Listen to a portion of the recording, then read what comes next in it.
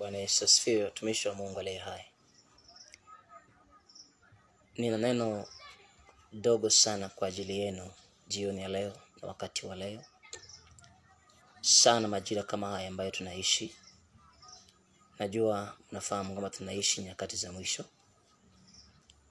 Jitahidini sana kuishi maisha matakatifu, maana bila huo utakatifu hakuna mtu atakayemwona Mungu. Jitakaseni sana, muache uchafu wote wa roho, nafsi na mwili. Neno la Mungu linasema wazi kwamba mwenye tumaini hilo hudumu kujitakasa, aondokane na uchafu wote wa roho, nafsi na uchafu wa mwili pia. Jiondoeni katika zinaa, washarati, uzinzi, kahaba na mambo ya mataifa haya. Jiondoeni katika uchafu wa tamaa za ngono kama watu wa mataifa walivyo. Jitakaseni, acheni uongo, masengenyo, fitina, husuda, hasira, kadhabu, maneno machafu yasitoke katika vinywa vyenu. Iweni wavumilivu, watu wa kunyamaza sana, lakini wa kutenda mapenzi ya Mungu. Muweze kuongea wakati unaowapasa kuongea, lakini wakati usiowapasa msizungumze, kwa sababu katika kinywa watu wekewa mitego, nao wakamtenda Mungu dhambi.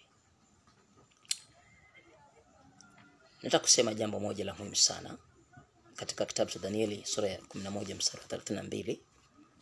Neno la Mungu linasema, na wao ufanyao maovu juu ya hilo agano atawapotosha kwa maneno ya kujipendekeza, lakini watu wamjuao Mungu wao watakuwa hodari na kutenda mambo makuu. Tunaishi katika nyakati za mwisho ambapo giza limekuwa jingi sana. Watumishi wa Mungu mnaonisikia, wachungaji, manabii, mitume, wainjilisti, maaskofu wakuu, maaskofu waandamizi, viongozi wa makanisa, tubuni, mrejee katika maisha matakatifu. Saa yaja, Bwana ataleta hukumu katika nchi, lakini hukumu itaanza mahali patakatifu.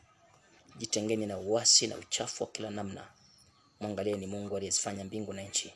Saa yaja, Bwana atatenda mapenzi yake juu ya kanisa lake, na hukumu ikianzia mahali patakatifu. Je, kwa watu walio nje, watu wa mataifa, itakuwaje?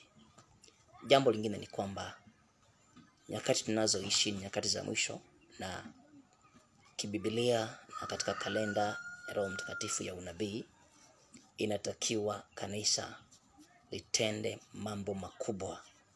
Watu waliookoka wafanye mambo makubwa yasiyo ya kawaida, mambo ya ufalme ya kutikisa, mambo ya kudhihirisha Mungu yupo na yupo Mungu wa mbinguni, mambo ya kudhihirisha kwamba Yesu yupo, hakika anaokoa na anatenda mambo ya kutisha, mambo makubwa, mambo ya ufalme, mambo yatakayoonyesha dunia kwamba yupo mmoja tu anaitwa Yesu Kristo Mnazareti.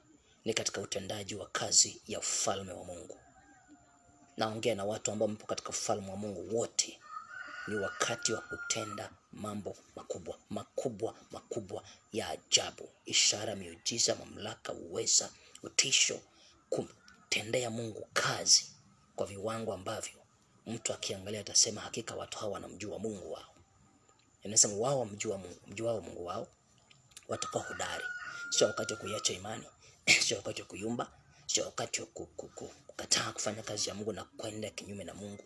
Ni wakati wa kuwa hodari, wapambanaji, watu wasioshindwa, alafu kutenda mambo makuu.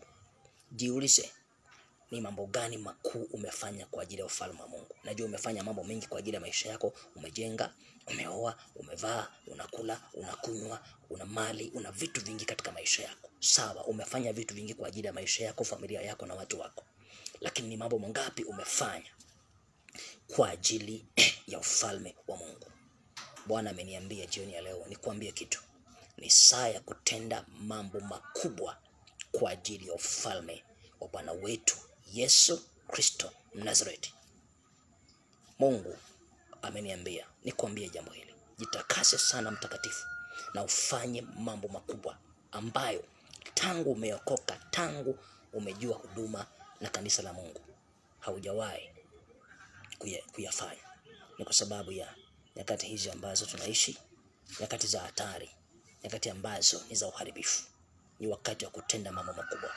Mungu akubariki unapoanza hatua ya kutubu na kugeuka na kuacha njia zako mbaya, na ujitakase sana. Jitenge na dunia na uchafu wake na maneno maneno na kila uchafu wa kila namna, uasherati, usinzi, ukahaba, mambo ya dunia, mambo machafu na movie za dunia hii na mambo ya, ya aibu, kisha utende mambo makubwa kwa ajili ya ufalme wa Mungu. Ni ujumbe wa Mungu, ni sauti ya Mungu, ni mtu aliyaye nyikani. Itengenezeni njia ya Bwana, Bwana yuwaja. Amen.